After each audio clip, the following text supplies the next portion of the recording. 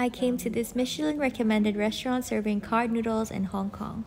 There is always a long line waiting outside and they serve a lot of toppings. You can mix and match and choose any topping and pair it with noodles of your choice. I recommend the radish, spicy squid, and pork skin. They were all cooked to perfection, so rich and really worth a try.